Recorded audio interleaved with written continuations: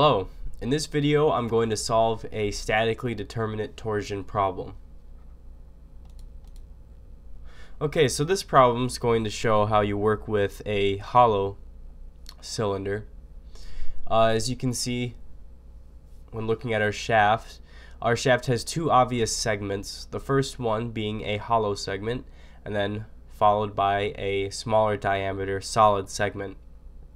This problem is done is in imperial units and you can see that this kind of causes one issue that I ran into and that is you're gonna have to choose which uh, base unit you're going to use. Um, so you have diameters in inches uh, the lengths are in feet.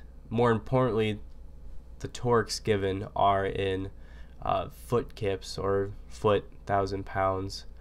Um, and uh, when considering some other values like uh, the maximum shear and whatever, I chose to solve this problem in keeping the inch as the fundamental unit. So turned everything of feet into inches. However, you could absolutely solve this by turning inches into feet and just do it that way. It's just a different way to do it. But with the program, it you can do it either way as long as you stay consistent with the units used. It should work out. So this shaft is made of steel, 12,000 ksi. That is 12,000 thousand psi or yeah psi. Uh, as far as segment one goes, the hollow segment, there's an outer diameter of six inches, an inner diameter of three inches, and then for the second segment, there's a diameter of 4 inches. At the end of the hollow segment, there is a torque in clockwise 20 foot kip, and then at the very end, in counterclockwise, 5 foot kip. Okay, so let's enter this problem. Okay, so number of segments, 2. Okay, so for segment one, when looking from the left, that's the hollow segment, and it's 10 feet. Remember, I'm putting things into inches being the base unit. It may be easier to do feet, but I'm just kind of showing that uh, as long as you stay consistent, you can work with changing things up a little bit. So 10 feet, that's 120 inches outer diameter 6 inner diameter 3 outer shear modulus 12 whoops 12 okay.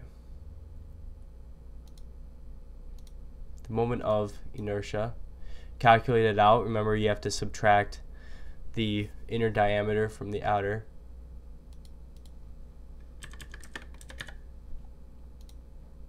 Okay, so on to segment two, the solid segment. So that's five feet, that's 60 inches.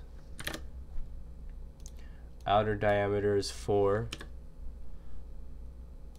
Same shear modulus. That should be that. Then just the standard moment of area, polar moment of area equation. Okay, so then we can move on to adding our torques, of which there are two values. That last pop-up was about solving for torque if you're given power and angular rate and everything. We're just given the torque straight up in this. So for the first torque, 20 foot kip, counterclockwise, or in clockwise, so it's negative. It's at 120 inches. remember that's kip, so that's 1,000 pounds. So 20,000. For the final one, that's 15 feet, which is 180 inches. That's 5,000 foot pounds. However, remember, those are in foot pounds. So, and we're doing inch pounds because we've converted everything else into inches. So what we want to do is just take converting that into inch pounds, multiplying by 12.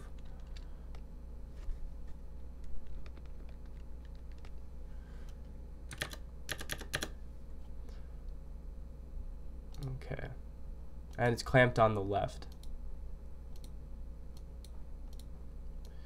Okay, let's go ahead and solve.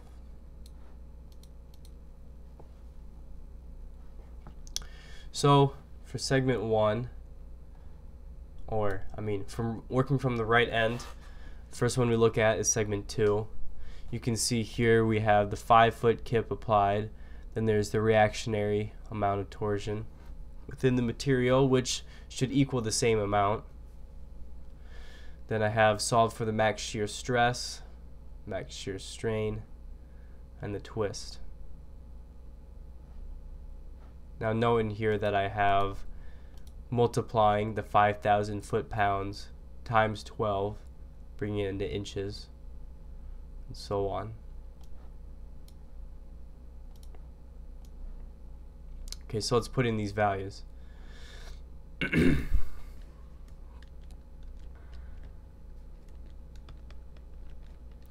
okay, so that's 60,000 inch pounds. 4775. And part of the reason I turned it into inches is so that I would end up having values like the max shear stress being in psi, which just kind of nice. Okay, the twist.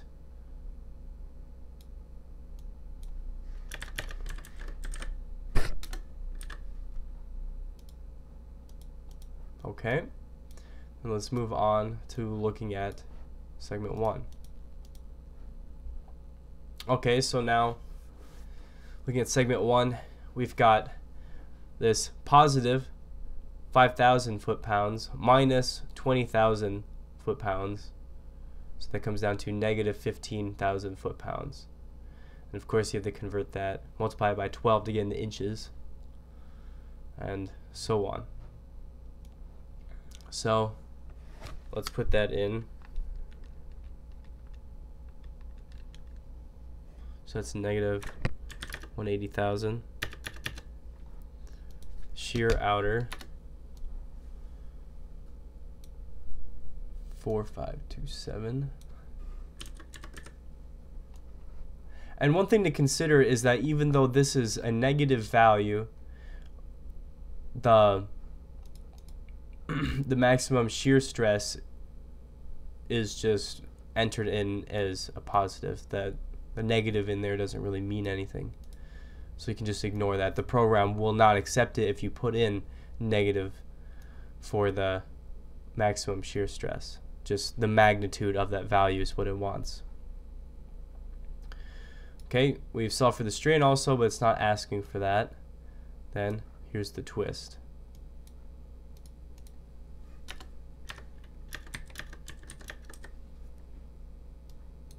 Which and you can see as in this one the clockwise act the clockwise torque is dominant so that the reaction is also negative leading to a negative amount of twist.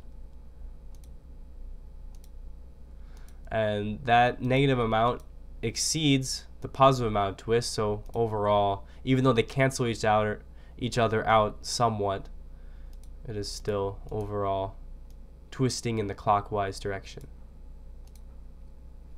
Okay, so that's it for working with hollow and messing around with using your units a little bit differently, but that's all there is really to it. In the next video, I'm going to be working through a composite problem.